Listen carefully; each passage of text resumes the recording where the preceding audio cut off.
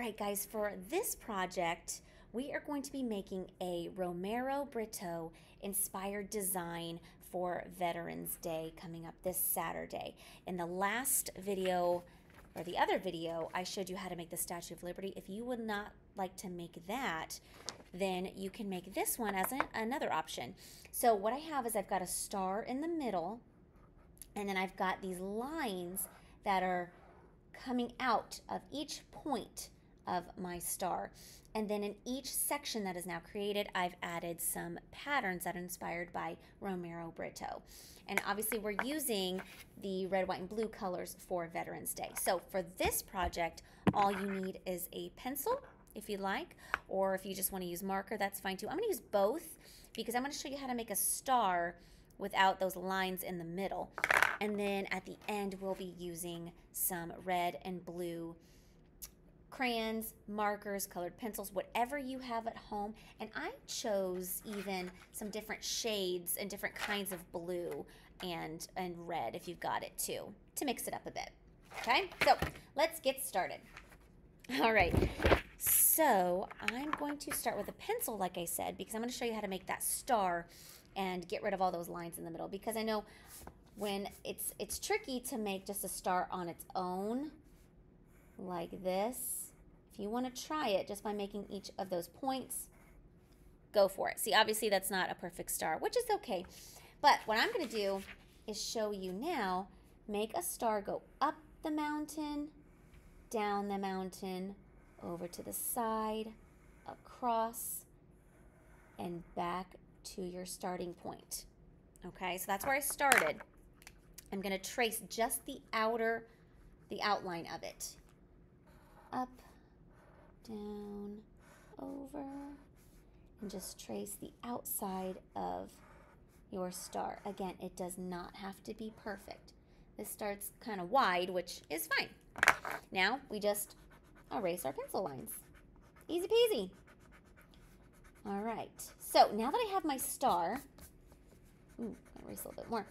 Now that I have my star, each point of my star, I'm gonna draw a line that goes all the way out to the edge, all the way to the edge. So let's start with this one, it's kind of a long line. From this point, I'm gonna go all the way, straight line, all the way to the edge. This one up top, go all the way to the edge. Side, this one's a little bit shorter Down here. And finally, my big long one all the way down. Okay, now I'm also going to make, since I want to make more section, sections than just these five, each part of the star that goes in, I'm also going to treat that as um, a point to make a line. Here, just straight out.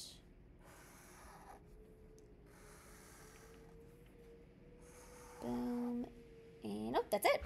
Okay, so now you have a choice again. You can either make your designs with your marker first, if you're uh, using Sharpie or black marker, anything like that, which is what I did with mine. I traced uh, all my lines, or I made all my lines and shapes and patterns with my marker first. Or you can dive right in with your colors, okay, if you want to do that. So I'm just going to do that because why not? Let's just dive right in. So in one of my sections, I'm going to make some stripes. Now you don't have to do this. You can decide whatever patterns you want. I attached a um, an example, a paper example of different kinds of patterns that Romero Britto would use in his work. But guys, again, it's a lot of stuff that you already know too. Lines, shapes, repeating those again and again creates patterns. You can come up with your own if you'd like.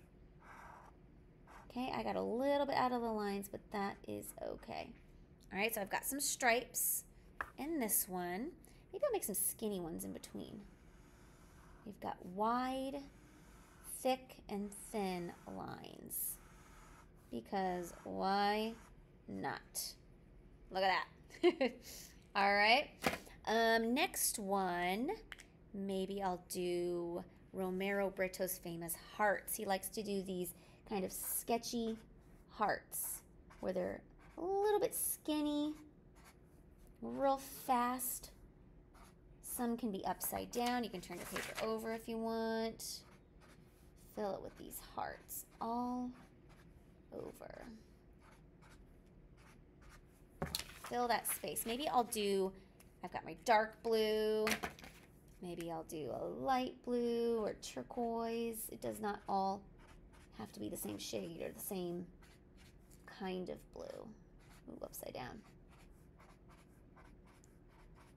Like that.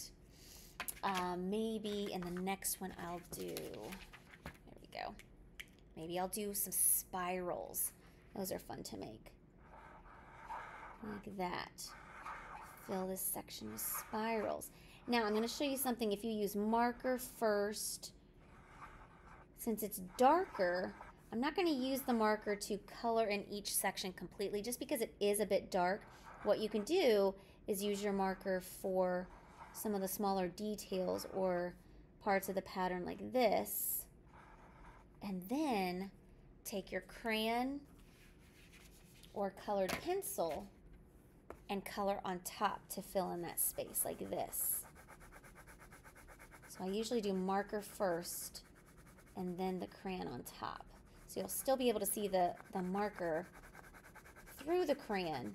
If you try to draw on top of crayon, sometimes marker doesn't want to work as well. So I usually do the marker first since it's darker, that ink, like that.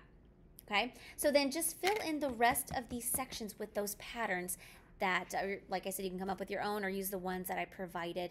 But have fun, and then when you're done, you can write a message on the back if you want. If you know anybody, a veteran that you could give it to, or hang it up, or even show me, guys. I'd love to see your finished work. So enjoy, have fun, and always do your best.